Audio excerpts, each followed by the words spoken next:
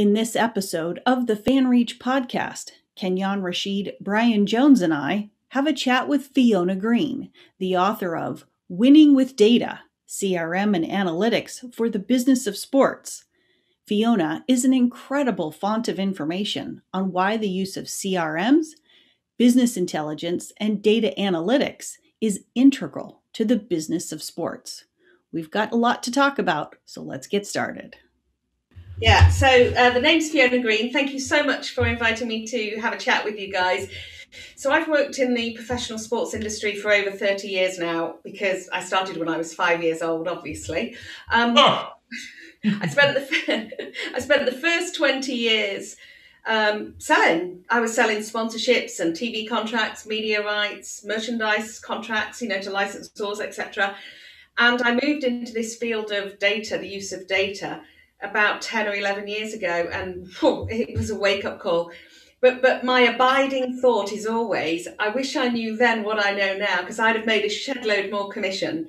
Because we apply data to the way we try and increase revenue increase engagement increase participation and all of a sudden the opportunity becomes not necessarily easier because nothing's easy in sales but it becomes more efficient more effective more relevant and you can get to that end goal an awful lot quicker and you can take the end goal and you can keep on growing it and growing it. So, um, worked in the data field for 10 years. I had a, an interesting start though. It wasn't um, because of the personal circumstances with the gentleman that employed me. It didn't go the way we were hoping it to.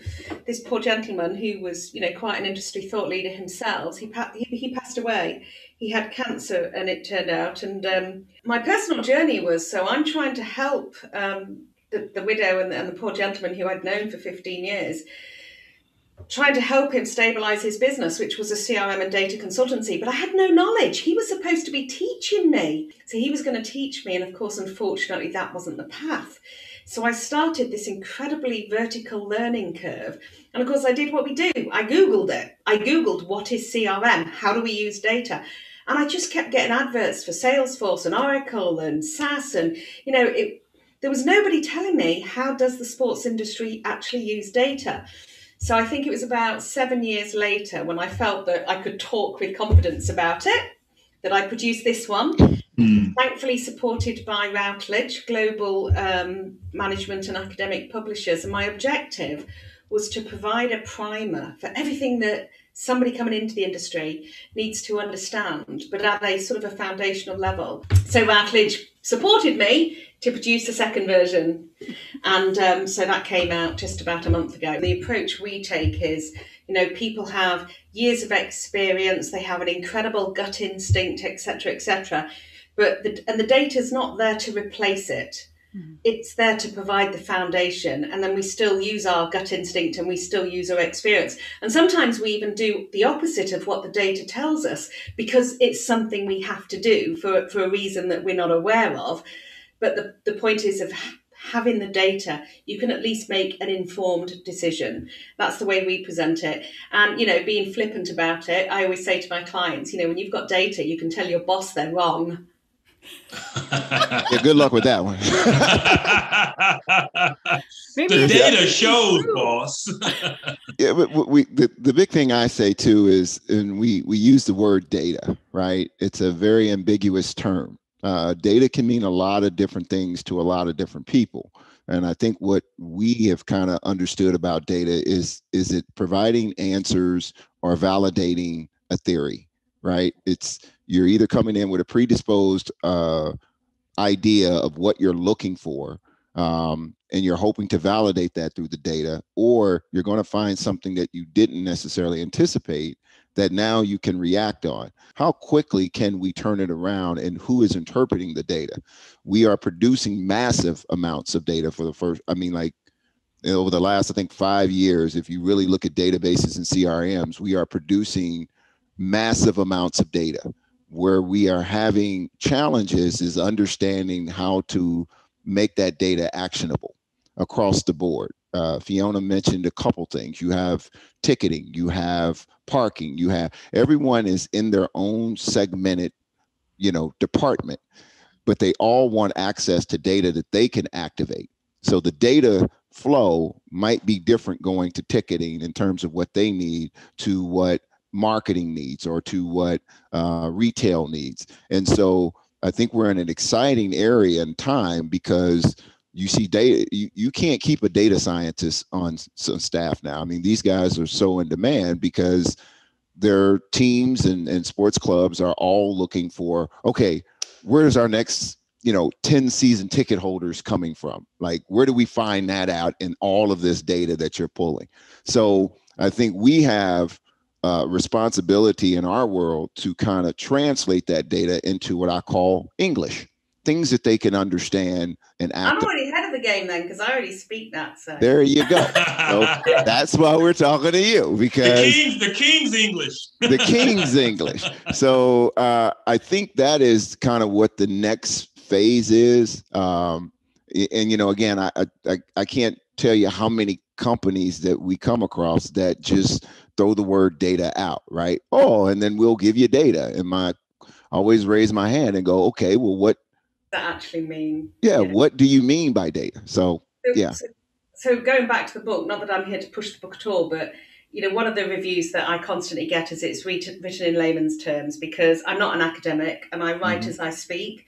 And you know, my biggest challenge when I'm working with clients is is trying to help them cut through the clutter of the bullshit. Basically, Thank am I allowed to say that, Christy? But yes, you are. Yes salesmen come in and they say, "Here's some technology. It's a silver bullet." Bang, and of course, it's not. It's mm-hmm. not a silver bullet at all. So, I mean, firstly, your your first point, Kenyon. There's lots of different types of data, and so my field is particularly what we call structured data and known data.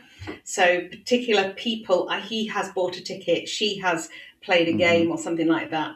Um, and then, of course, we've got the unknown data, which is the visitors to your website or your social followers. So they're not owned by you and mm-hmm. you don't have a particular box you can put them into. I mean, you do, you put them into a CDP, but I mean, they don't align with the ticket buyers because yep. you, you've got to ha- find that way to match them.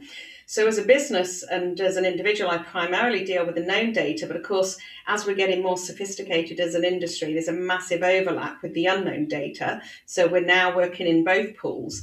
But the data that I don't touch, and you know, I think is misconstrued as well, is, is market research data. So Kantar type data. I think it's incredibly valuable market research but you know, I'm a big believer. Getting a focus group of 20 people or getting people a, thousand people to fill in a survey that says, "What would you do if? What do you think to?" is very, very different to actually looking at behavioural data and seeing how did people actually behave. And you know, the, the the sort of the reference point I give to people to help them understand the difference between filling in a survey and asking somebody what they did or asking a focus group versus actual data that's generated by people's ac- actions is like me saying to you, Brian, what are you having for tea tonight? And you might say, I'm having steak and fries.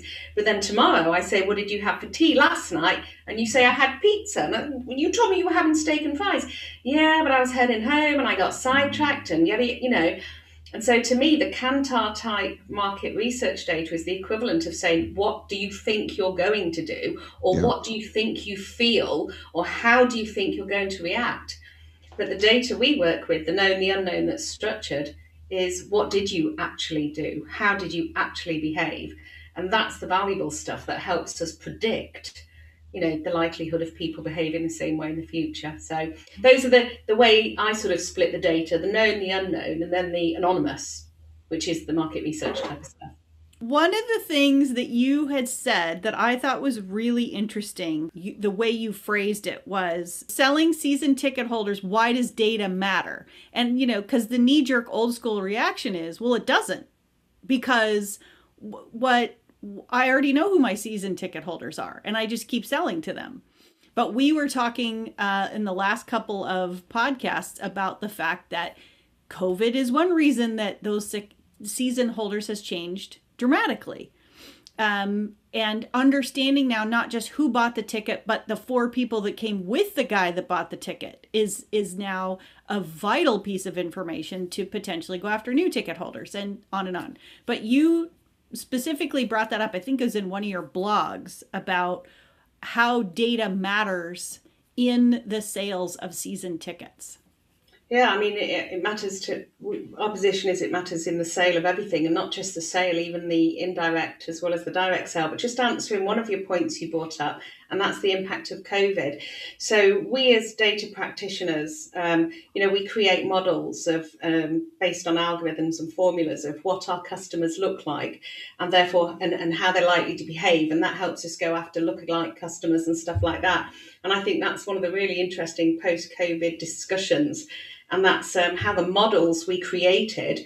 So, say for example, an organisation, a team has got X number of season ticket holders and they've split them into six customer personas. This is what they look like, the type of behavior, the demographics, whatever. They're going to have to remodel all of that because pre COVID, we thought the most important thing in the world was get into that game. Well, we might have suffered tragic loss and therefore get into a game isn't as important as it used to be. We might have happily spent 400, 4,000, whatever it is on our tickets. But because of COVID, we've had to change, you know, our, economic situation has changed. So, you know, I think that whole modeling of what we thought we knew about people's behavior, their thoughts, their attitudes, their spending power, and their spending patterns is going to change. We need to reassess all that data and we need to, to change our models. But back to the, the specific question about season ticket holders. So, okay, we have a number of season ticket holders that buy year in year out but we also have season ticket holders that churn that, that come out they don't renew. So we need to be finding out why they don't renew at what point they make the decision not to do not to renew and divert them away from that decision so they stay with us I already briefly touched on it as well, but this principle of customer personas, knowing what a season ticket holder look like looks like from gender, age group, distance to stadium, how much money they earn, what education level they have, their whatever family status, yada yada. And then creating that customer persona and then going back to either our database to find lookalikes, people who look like this person and therefore have a higher propensity to also become a season ticket holder, or using that data to go out to our paid platforms, you know, Facebook advertising, where they give us the opportunity to create a, a custom audience. Find me all the people that like um, football, that live within 50 kilometres of this stadium, that are male, aged this, earned this, have ever shown an interest in ban, because you know there's a really good chance that they're likely to buy a season ticket as well. So it has a huge impact. It's you know it it helps us reduce the churn. It helps us find new customers. Um, it helps us to maintain engagement with those existing customers so they don't churn out. And actually, Kenyon, go back to um, something you were talking about. You so we, we talk about data having two key purposes. One is business intelligence, which is the stuff we've been talking about, but the other one is targeted marketing. So we take the outcome of that data analysis, that that um, BI, and we use it to inform how we get the right message to the right person at the right time to get them to do what we want, which is buy more, um, you know, engage more, participate more, or whatever it is. But so we kind of split it: decision making, informed decisions and then targeted marketing, targeted messaging that, of course, is often related uh, to the decisions as well. Hey, Fiona, uh, Kenyon mentioned how segmented, um, you know, the data is from marketing up to parking to, you know, concessions. And it's, it's pretty fragmented here in, in, the, in the States. Um, do you find it's more consolidated there in, in Europe? Are people taking more control of uh, their data, uh, as some are now starting to do here in the United States. And, and, that's something we've been preaching for the last three or four years, owning your audience. And uh, you, are seeing a little consolidation around that uh, here recently. Uh, what's the lay of the land there yeah. in, in England and Europe? So the principle is that, you know, your data's going to come into you in multiple formats because it's coming from multiple people across multiple devices, across multiple from multiple data sources. So it's going to come in whether you're in North America or Europe, it's going to come in from those multiple sources, okay? And it's what you do with it when you get it, and then how many segments you create or personas you build. So the difference between segments and personas, for those who who aren't clear on this, is um, segments are the the databases or the the, seg- the the customers that you create that you all want to do something in common. For example, you want them to buy a season ticket, yeah? And then the personas are the way you create uh, the different, the way you think of the different people within that, that segment and their mm-hmm. different behaviors. So you might have um, multiple personas in one segment, or you might have um, one persona and you use it, you divide it across multiple segments. So everybody's looking for the holy grail, which is the single customer view, the single view of that one person and how they've come into our environment, the level of engagement and behaviour. Um, so the, you know the, the fact that it's not segmented when it comes in is a reflection of how many different ways people have of engaging with us. It's what we do with it when we get it and the way we create that single customer view and then how we create either our segments or develop our personas after that. Here's an interesting one for you and I, I love when i'm doing a workshop with a group of people i love throwing out this question so i'm going to throw it to you guys so um, Netflix have 71 um, paying 71 million paying customers. Okay, how many different personas do you think they create to enable them to do that segmented messaging through their technology? So 71 million um, paying customers, but for example, I'm white female, Christy's age, two grown up kids. I don't like Game of Thrones or anything sci fi. I love CSI and White House politics. Christy, do you like CSI or White House politics? Nope. so we're in the same demographic because of our ethnicity, our age, and our gender, but we have totally different viewing options. So, Kenyon, you and I might both like the same type of programming, but with different gender, and you know, so many other things are different about us. So, straight away, we can see a number of different personas. And of course, Netflix want to get the right message to the right person at the right time to get them to say yes as quickly as possible.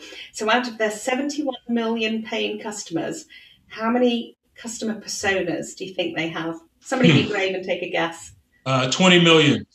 That's a really good guess, but it's not. It's not. It's um, it's too many. 20 million would be too many. The cost of the mm-hmm. technology and the processing speed to push through all that data and, and create mm. 20 million personas would render it non cost effective, no return on investment for Netflix. So it's actually 36,000. Mm-hmm. So wow. 71, 71 million paying customers, 36,000 personas. We've got a retailer here in England called Boots. They're a bit like Walmart, online and offline, and they have this points card. So they have 25 million paying customers. Have a guess at how many customer personas. Go for it, Brian. Out of 25 million paying customers, how many personas? 25 million. I'm going to say 5,000 personas. They have three. Three. What? And they're all female. So when Brian and Kenyon go into Boots and buy aftershave, you drop into a female persona. Oh. Even if you're not wearing lipstick and high heels, they put you in there. And, really? And, and it's not because they don't know you're female, it's because they don't care. Yeah. Ah. Going back to the original point when we started talking about every business has a different strategy. You can't boilerplate things. So right. Boots' strategy is based on female customers. So the way they market their products, build up their stores, do this, do that, they're thinking about these three personas, Trish, Janet, and Wendy, or whatever their name are. And you drop into them but of course, me and Christy will match it with a much higher percentage rate than you guys will, because if nothing else, you're not female. Right. So right. we'll into one of the three personas, and our match rate will be 80% or 60%. You two will drop into one of the three personas, even though your name's Brian and Kenyon, you'll still be classed as. Is because our spending habits lends our lends it to where we uh, we, we we match those personas. It's based okay. off our spending habits, correct? It will be spending habits. It might even be some of your age and gender, but it will be 100% your engagement with Boots, the way you look through their website, the points you collect, the way you spend the points, 100%. So the point I was demonstrating there is we have these principles that are exactly the same data coming in, storing data, data being pushed out. How, how that looks, whether it's Europe or North America or China or Zimbabwe, is down to the actual business it's down to the business's own objectives, the business's own strategies, and of course, the business's own resources.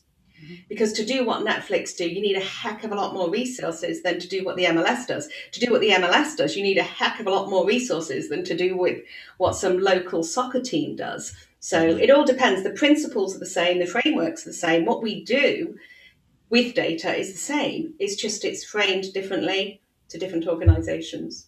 So one of the things that we were just talking about in a in a in a previous episode was um, the huge leap forward in things like cashless and touchless technologies, and of course that's of pretty big interest to a company that makes mobile platforms because this particular platform is is creating something that sports fans have in their hands from now because of COVID. The minute you park and pay for parking to going in the gate at the arena to finding your seat to finding the bathroom to buying a hot dog to getting a beer to getting your souvenir shirt and figuring out how to get back out of the arena in the shortest way possible to your car. That's all here on a phone right? So how important is that going to be? You know it's pretty clear to the fan how cool that is and how that helps them. Um, but i'm assuming that that's a huge boon to anyone in the business intelligence unit trying to figure out what to do with people. They, they should now have a whole lot more information. But as BJ and Kenyon have pointed out in the past, that's not necessarily true because it's all different vendors that do those transactions on behalf of the teams so that data gets lost. So given that, what, what would you say, especially in your consulting role, to tell a team how important is that data and how important is it that they get their hands on all of it? Okay, so firstly, absolutely, it's incredibly important. By the way, mobile apps are the number one way, or using cashless in a stadium is the number one way we can tackle that four tickets for one customer principle. You know, if we can get the three other people using the app and the app um, acquires data. So the reason I emphasize email, so firstly, e- an email address is absolutely foundational because we need it for targeted messaging because mm. we use email, SMS, social advertising, mobile app push messaging, and um, web advertising. Those are our targeted marketing channels. We emphasize email because it's the most cost effective, the most cost efficient, and the one where we have most trackability. Plus, you own it, yeah? Your Facebook followers are not your customers, they're Facebook's customers, yeah? Whereas when you've got an email address and it's in your database, it's your data. When it comes to a mobile app, if for whatever reason the mobile app provider has not decided to add to it a login place where we capture the email address, then they've got to come up with another way of getting a unique identifier that aligns with Ticketmasters, for example, that aligns with the merchant Fanatics, the merchandise provider. So it's the role of the rights owner to take that gorgeous, rich app data and to be able to bring it into their environment and put it into a data a data warehouse where it's also going to align with ticket buyer data, uh, merchandise buying data. They entered a competition on my website data. They purchased a ticket to a stadium tour. They came to a summer camp. So you've got to have a unique identifier. And to this day, an email address is still way more prevalent across all the digital applications we produce. Because even if um, a customer doesn't use email as much as another customer, for example, they get too many, they think it's all spam, they don't look at it. They still use an email address to actually sign up for the application, unless, of course, it's WhatsApp and then you use your mobile phone.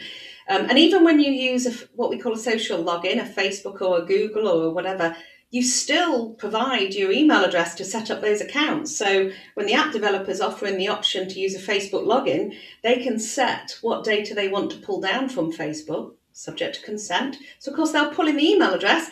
Then they can match it with the email address that was used to buy the tickets from Ticketmaster, and they've got half a chance of getting that single customer view.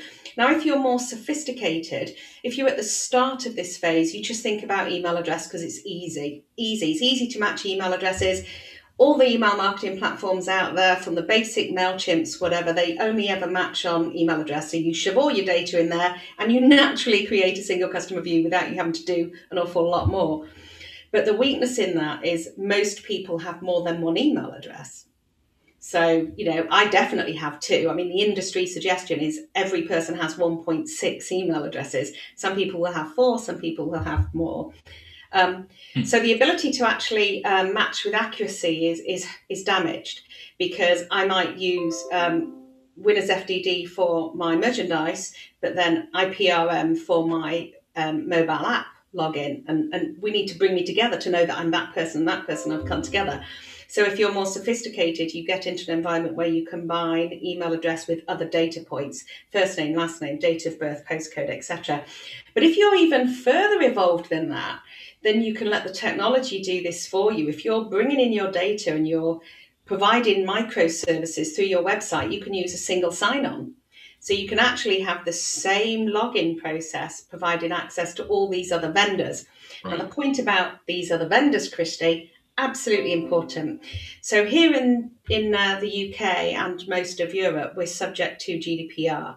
You guys, you don't know what an easy ride you have. If you guys are panicking about CAN spam and the CCPA, you don't know you're born. Yeah. Because I, I'm staggered at how loose your data legislation is compared to ours. And, and I knew it was because somebody said to me four years ago, a very well known and established gentleman in the world of data, um, Paul Greenberg, massive, he's, he's like the godfather of CRM in, in, in the States.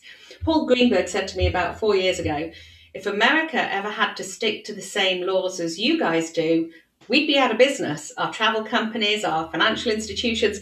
So I saw this for the first time myself. I made a donation to the Biden campaign. Please don't hate me or love me for that, but I made a donation to the Biden campaign. You have to give consent over here. You have to give consent to use data. I made a donation to the Biden campaign. His office didn't ask me for permission to continue to use it for campaigning to me, but he still sent me emails asking me for more money. Not only that, he gave it to every other Democrat party in the states. a lot of emails constantly asking me for yep donations. But here's the thing they're not doing a very bloody good job because all the emails end up in my spam. Yep.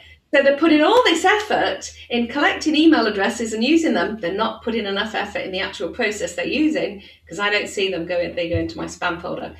So um, bottom line is access to that third party data or the data provided by third parties is incredibly important.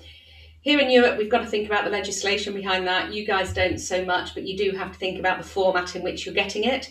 You're never going to get all your vendors to give you the data in the format you want, but if at least you've talked about the format it's coming in, you can put in place processes to manage it and manipulate it so when it comes into your data warehouse, it sits there nicely. And by the way, just talking about your area, the app, app area that, that FanReach is concerned of, I was on a, a conversation yesterday um, with um, the DraftKings and they were telling me they're dreading this latest move with app on iOS 14.5 and how the use of that data for programmatic advertising is going to kill the Apple's new legislate is going to kill.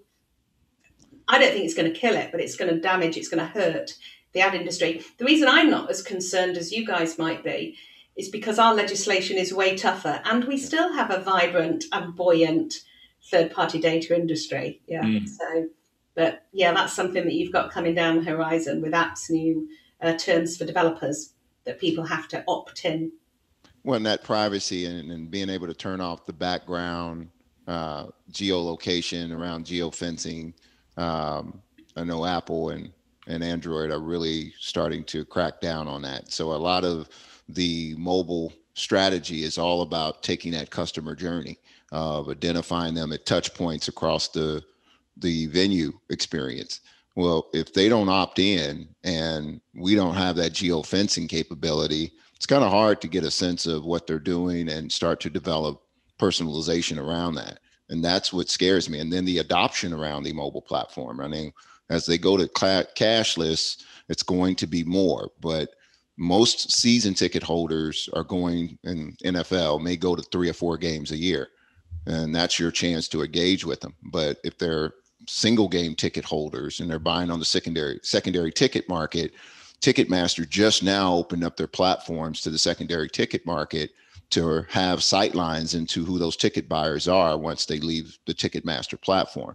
So they're still in the infancy stages of kind of generating a, a, greater view of these of these fans but the privacy issue the opting in and then the op, app adoption of how do we get them to to download the app be a part of it engage with it so we can start learning more about what their behaviors are is some of the challenges that i know uh, teams are facing here today.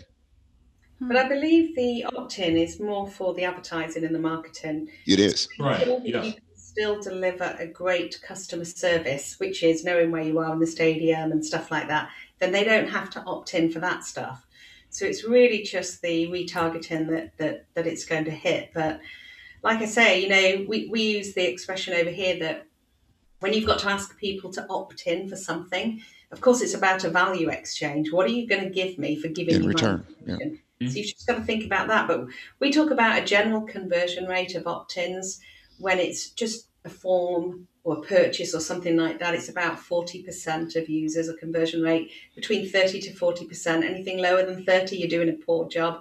Anything better than 40, you're doing an amazing job. But of course, it changes with the um, it changes with the incentive. So people think, you know, this is all about the way people behave, isn't it?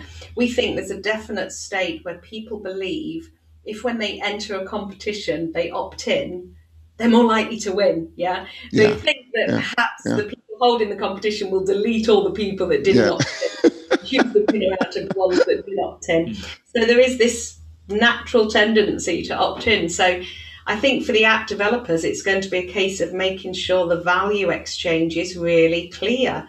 I mean, you can't, here in Europe, you can't, and I believe based on app, uh, Apple's terms and conditions, you can't make the opt in part of a, an obligation to get a service. You can't incentivize the opt in with something like you get something free. You know, it has to be a clear and free consent. Um, so you've just got to really highlight the benefits of, of opting in and see if you can get, you know, more to a 60 or 70% uh, conversion rate. But yeah, you'll never get 100%. But again, it's just on the retargeting. It's not going to devalue the function of the app. It's just going to affect your ability to sell other stuff to them, to the customers. What do you see coming down the pike as far as leveraging data? What what are some of the the new you know technologies that would allow uh, these audience owners, if you will, yeah. to get it, you know, I love the word Kenyon always use better sightlines uh, into who that that customer is. So, I mean, funnily enough, when I was writing my so in my book, I do a chapter on you know what's going to happen next, what's what, what's next, and I'm not a futurologist. I'm not that smart, so I actually mm-hmm. think when it comes to what we're doing, I think it's just more, more, and more, uh, more of whatever we're doing. Let's do more of it. But when it comes to thinking about future state, you know, everybody talks about artificial intelligence. It's like this catch-all word, and it could mean, you know, this chatbot in Facebook uh, we're still at the very, very early stages of using machine learning. We create nice algorithms to identify propensity. That is like that much compared to how far we've got to go, you know. So, mm-hmm. but I think the application of artificial intelligence in its truest sense to the sports industry is going to be limited by our ability to cover our costs through the implementation of it. Yeah, because we've got to do things that generate a return on investment. Artificial intelligence is not yet at a stage where it's cost effective for most businesses. It's cost effective for Amazon, it's cost effective for Facebook. It's going to be a long time that that heightened level of machine learning for rights owners is going to generate a return. But yeah, of course, we expect to see that that move. I tell you, my my current hot topic that I love to debate it, and this was came out of a, a, US consultant who started this thinking, and you know I, am currently reading his book, is um, data as a corporate asset. So at the moment, we think about how much data can be used to help us sell more tickets, and therefore we we use terms like customer lifetime value, so that each person in our database we know is worth four hundred ninety five dollars over three years or whatever. But that's that's how much money that piece of data can generate for us through the sale of other products and services or the sale of sponsorship or the sale of media. What about the value of the data itself having been a, a value that can sit on a profit, a profit and loss account? To, mm. that could actually sit on your account. So this is there's this fantastic article written by this guy Douglas Laney. He's an ex um, he's an ex uh, Gartner consultant. He's a Forbes contributor, I love this article. I send it to as many people as I can, so I'll follow up with you. The title is Your Company's Data Could Be Worth More Than the Company Itself. Wow. And yeah, and the book is called Infonomics, and the principle behind infonomics is, you know, fundamentally the value of the data itself not the way we use data to sell other products and services. And I would love to be, if anyone's listening to this, I would love to be part of the team that for a rights owner is the first organization to be able to put data as an asset onto a balance sheet. So over here, well, you over there, you know, all the buying and selling of clubs and stuff like that. We pay for the stadium, we pay for our players, we pay for our brand. We imagine if we've got to pay for the data too. Well, we've been. I'm working on commission, by the way, so you know. well, Fiona, we've indirectly. That's what we've been telling owners from day one. Is in order if in the investment community you buy audiences um, draftkings for instance uh, started in daily fantasy right um, fanduel started in daily fantasy they amassed user base for potential affiliate for sports betting so when Paddy Power came in, they really bought data. They bought users, and that yeah. value is based in there. So I ask, I always ask the same question: What does Amazon own?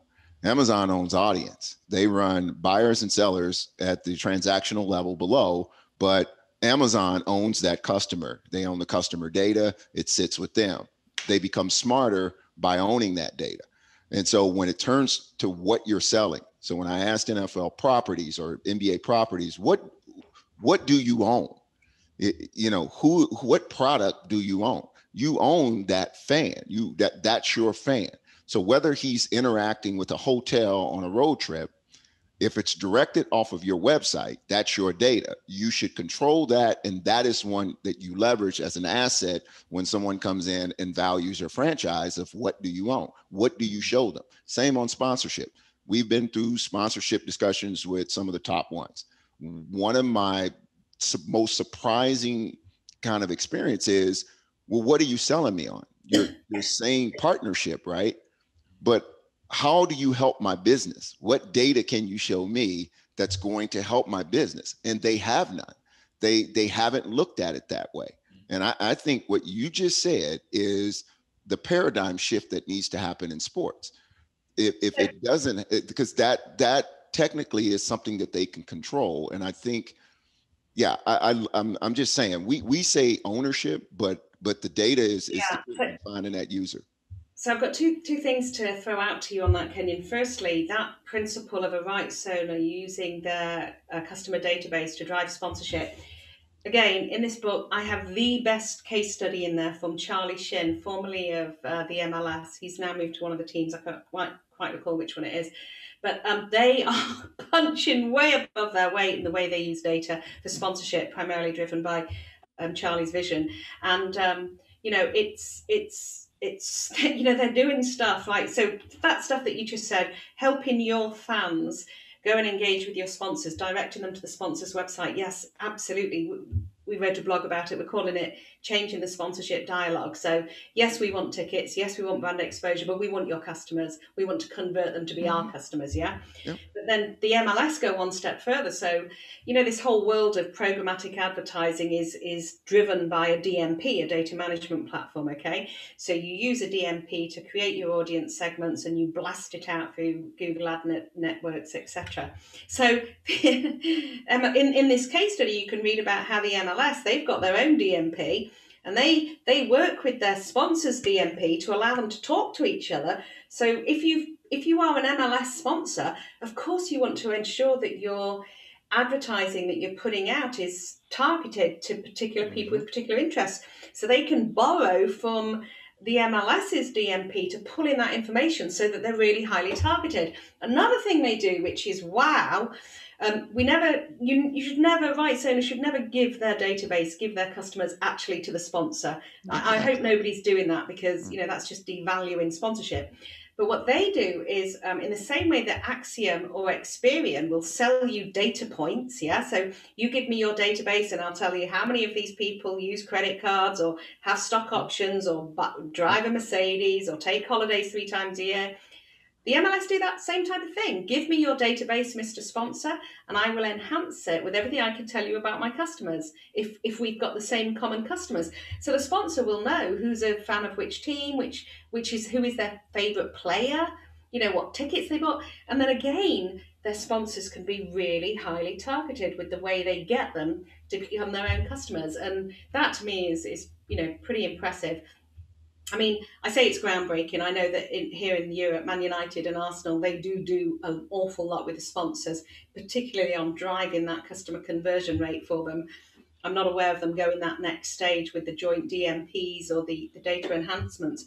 The other thing is, just going back to that principle of how much you know data is a corporate asset, it, it goes even beyond the value of the actual database. So your customers, it goes to stuff that you know about their behavior and how it can benefit other industries. And I try and think about the applications in sport and I come back to performance data. So, not the professional teams, because the professional teams, you've, you've got a roster and it's quite small, but imagine the grassroots of the sport. So, for example, US Youth Soccer, and you know, there's 17 million registered kids. If they're actually tracking behavior, how often they're training, how often they're participating, that's hugely valuable to the insurance industry who are projecting the health of the country. No, serious. Yeah. Listen, so, I, am I'm, I'm telling you, Fiona, yeah. uh, you are speaking my language right now. so I'm gonna because we've we've been on the the optimization around player data as well in the early adoption from catapult to GPS. And here's what I'll throw at you for data uh, around the business. So you're tracking NFL players, NBA players now, every movement, heart rate, distance, what they run, load, everything, all of that information. They're going to productize that information downstream to the other the the set the kids that are growing up trying to figure out what do I have to do to play in the NFL or play in the NBA. Well, you want to do that. Here's his metrics. He's running acceleration yeah, 12.3. Yeah. He's just my question is who owns that data? Oh my God, Kenyon, I love that. I love this. So Firstly, I, I, wrote an article for Sports Media, which is one of our big, um, you know, one of the big digital newsletters. There's this there's this class action lawsuit going on in the UK with the Premier League. Okay, about 400 players. If you haven't heard of it, it's called Project Red Card. And Project Red Card is the class action lawsuit of these professional footballers claiming ownership of their data. Now, I think it's pretty clear, Kenyon, because here in here in Europe, we've got GDPR, which is the law. And the law sits above any contract between a player and a club. And I, you know, I, I even started this conversation a couple of years ago, and I don't know how this translates to the American sports, but say, for example, Manchester City's buying a player from Everton, yeah? Mm-hmm. So Everton agrees the principle of selling, and then Man United says, But I want all his training data, I want all his biometrics. And Everton says, You can't have that. Well, the player goes, I say I can because it's my data. The GDPR gives me the right to take it and give it to Man United. Not only do Man United have this fantastic rich data on this particular player, a, re- a clever data scientist could reverse engineer it and learn Everton's training plans. How do they actually? Now you're you're hitting. So in 2003 or 2001, when mm-hmm. HIPAA first came out, so I was the first one to go to the NFL and ask them what is your plan around HIPAA? They said, what is HIPAA? I had to explain to them. They said that doesn't apply to us. We're no, not a health Explain facility. it again, please, Kenyon. I don't know. So HIPAA is the Health Information Privacy Act here that was enacted. So it protects your medical information and it prevents it being from being disclosed without your approval. Well, we knew as players in sports, they talk about our medical records all the time. It's used as contracts. Yeah. And we are hurt a lot so the medical data on us, what people didn't know is because we were being examined at the stadium and our records kept at the stadium, teams were classified as health facility according to the federal government. So that's the law that I went out with to get teams to move to an electronic HIPAA compliant EMR system. But one of the things that I did was make players aware that that medical information, number one, is worth money to them. So yeah. when they're negotiating contracts, we're looking at your medical data. They have a scouting combine where they take all the images and information, right? Players were not even, and their agents not even allowed to have access to those reports, even though it's them. But the teams were, and they were using it while you're being drafted. So yeah. when you turn on a, a TV today and you see a player go out of the game on the sideline and you see the 10 around them, and they can't really tell you what the injury is, that's all based in HIPAA. That's all based in player medical data. So what I tried to say and to be an ally with the NFL is if you want to find out about injuries and and safety and all of that, think about all the health data that you have available here. But the players own it. Yeah. So if I'm a player, I told agents, and I'm done at the end of the year, go demand your medical record for the team because when we retire and you file for workers comp or 15 years later you fall out like some of us do because we didn't know what medications you were giving us right because you controlled all of that if you put an audit trail simply like player data now whoop devices that are keeping track of your sleep teams have mandated non-mandated that you have to give the report the next day hmm. right so what when that first came out my question and this was five years ago, BJ, Yeah. was okay. So you're collecting all of this data on the players, and the players are thinking you're collecting the data because of what? For performance? To make me better? Or are you collecting it to use for your own behalf? Did I give you rights to that? Yeah. Did, am And- I signing away my data? So when you tabled that question five years ago, then what sort of musings, what sort of feedback were you getting? what are you talking about? Yeah. What are you talking about? Players are not thinking that deep, Kenyon. What do you? What? is- This is They going to help them perform better. What do you? What do you? You know what though? Uh, Right, exactly. It's just interesting to me. Just two days ago, I ran across an article about a European soccer player who, Kevin De was- Bruyne, yeah, Man City. yes, who was gonna get cut, and he said, "Oh hell no," and went back and had a data anal- analyst look through his data to prove to the team what a huge asset he was, and got himself what was it a five? And- Okay, he got a, an extra hundred k a week. Okay, so reverse that. yeah. Now I know you're running a tenth of a sec slower Yeah, in your acceleration. And by the way, I'm showing it on TV because you know the broadcasters. You know, we, we're going to show the acceleration. We're going to show all the Yeah. the metrics and the angles and the numbers and everything else. Well, the team is seeing that I'm running a second slower. They control the data of that that they now can share with another team. Is that beneficial for me? No. But but by the way, Christy, my question on that article was, where did the data come from? Because it's Mhm. unlikely Man City shared it, so maybe he got it from the broadcast. Maybe he went. He the, the, the article said that his dad, his dad and his friend did it as opposed to an agent.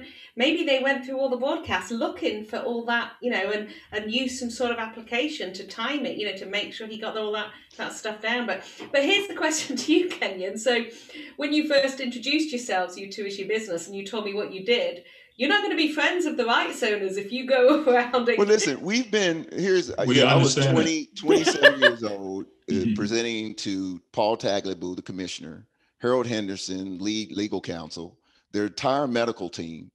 And my thing was, I'm not a programmer, I'm not a doctor. What am I doing in this room? And one of the things was I use my personal experience um, of what we went through. Like I wanted to understand why we go in a treatment uh, training room and I'm looking at you taking a report. Where's that report going? Like, how are you sharing that with another team? Like when I got out, we both know and, and BJ understands this. You know, we were told the teams didn't even have medical records on us. Wow. But what I figured out is that if they can delay any workers' comp for two years after you get out of the game, the NFL has figured out that that's income not coming in for two years. If we can delay you that along, you will Yeah. take a 30% less settlement on the workers' comp. So they've got it down to a science. And what I started to understand is, oh, they're looking at data that way.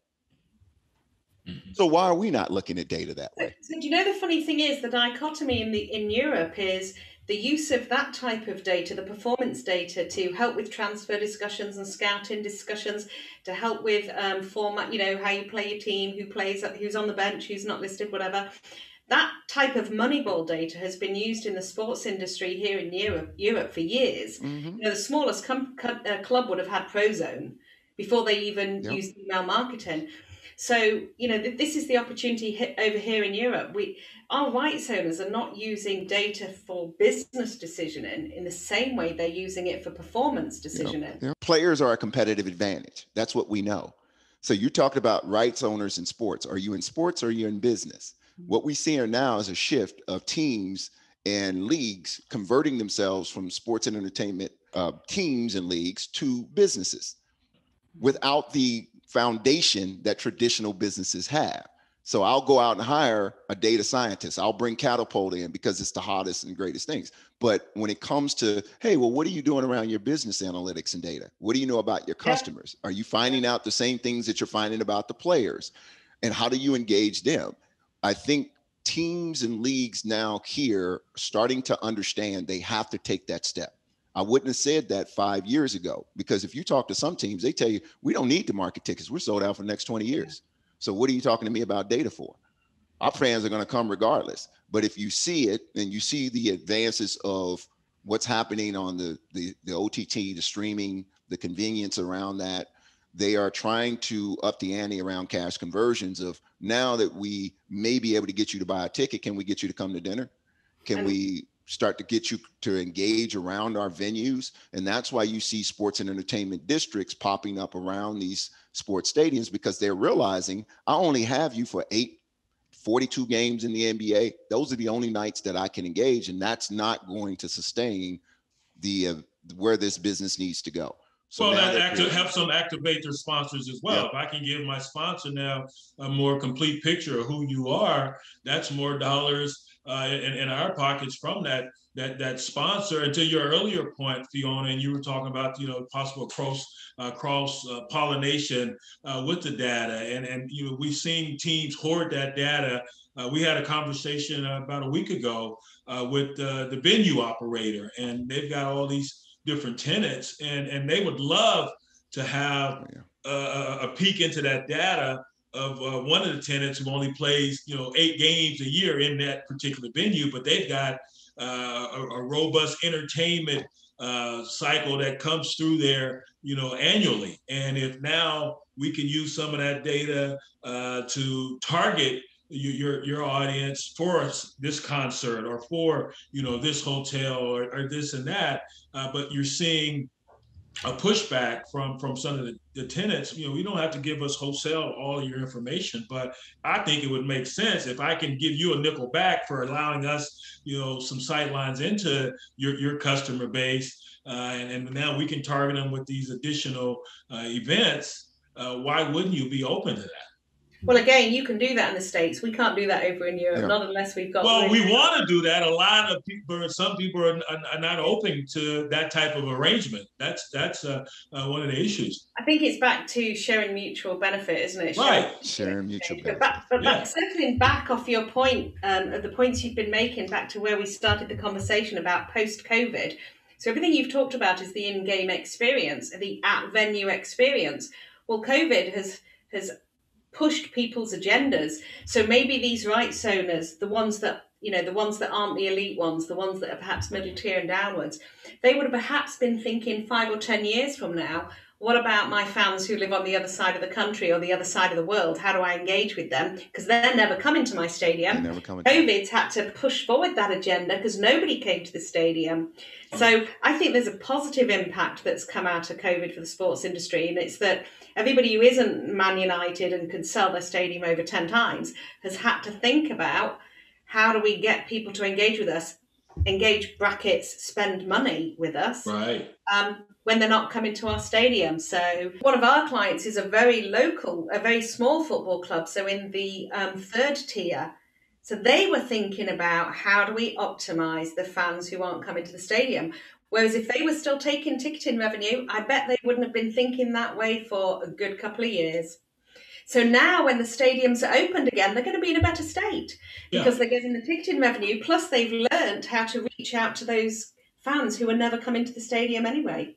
Well, COVID accelerated this this uh, this paradigm shift, and and yeah. there, there's we were go, heading towards cashless and and and you know all the mobile uh, things uh, and, and COVID hits and now you you've been forced, you've been compelled to uh, change your modalities and and and now you know get on board with this new way of of um, engaging your customer and, and, and getting them in the stands.